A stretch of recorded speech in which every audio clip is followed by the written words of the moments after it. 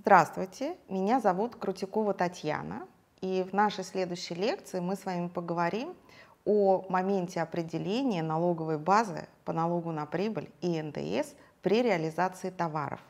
Посмотрим, где эти правила совпадают, где они различаются, а еще посмотрим, какие есть особенности при продаже недвижимости. Смотрите на видео консультант.